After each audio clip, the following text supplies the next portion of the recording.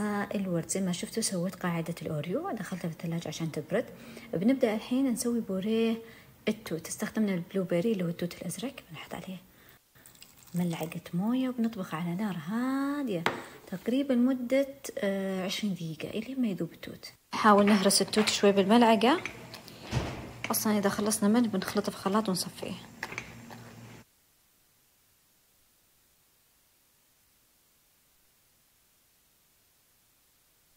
سخنت ربع كوب حليب على النار أو في الميكرويف بس أهم شيء إنه ما يغلي. وأضفت عليه مغلف جيلاتين هذا هو الجيلاتين. أخذ مغلف وأضيف عليه وأحرك لين ما يذوب.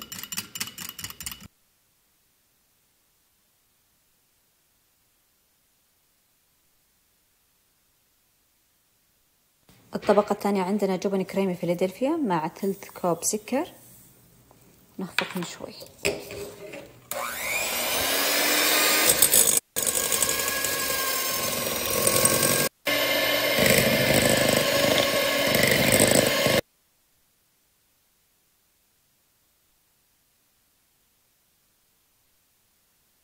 هذا الجبن بعد ما خلطناه نحطه على جنب ونجيب الكريمة كريمة خفق مع شوية فانيلا نخفقها لحد ما تنتفش بس مو انتفاش كامل يكفي نصف نصف نفشة. إن شاء الله فهمتوا علي.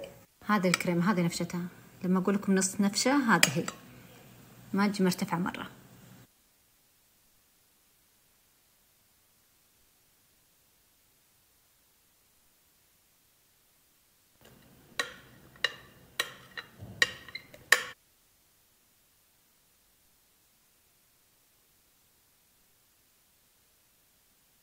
الأحسن تحطون البورية بالتدريج. تشوفون درجة اللون اللي تعجبكم توقفون عندها.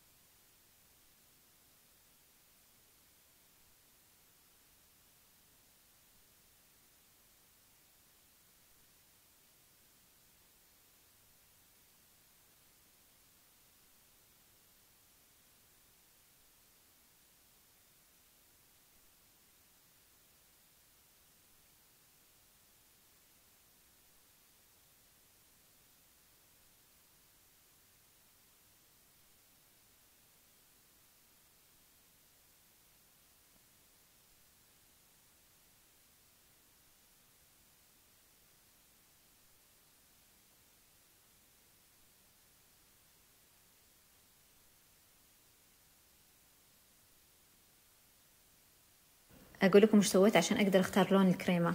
سويت ثلاث انواع من التوت هذا التوت الأحمر اللي هو ال raspberry وهذا الأسود استغربت إنه طلع على أحمر blackberry وهذا ال blueberry الأزرق. أخذتها وأخذت عينة من الكريمة وخلطتها مع بعض.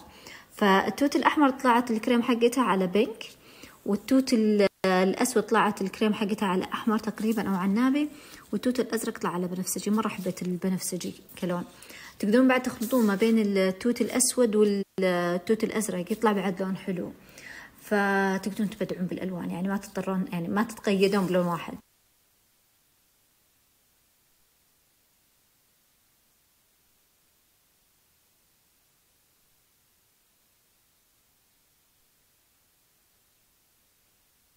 أهلين بنات بقول لكم شيء بخصوص التارت وكثير كثير يعني السؤال اللي يتكرر علي مئة مرة إنه كيف قدرت تطلعين التارت من القالب؟ بطريقة مرة سهلة يكون عندكم مثل هذا الولاع يعني أي brand تاني مو شرط هذا نفسه تجيبون النار والتارت يكون تو طالع من الثلاجة تلفون بالتارت يعني لا تقربونه مرة ولا تبعدونه مجرد إنها تدفى الأطراف ما نبي نسخنها تدفى يطلع معاكم زي الحلاوة ببساطة بدون ما يتكسر التارت ولا يعذبكم ولا أي شيء.